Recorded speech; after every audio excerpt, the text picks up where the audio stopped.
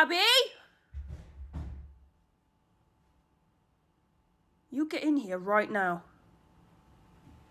I can't believe you. There was only a couple left.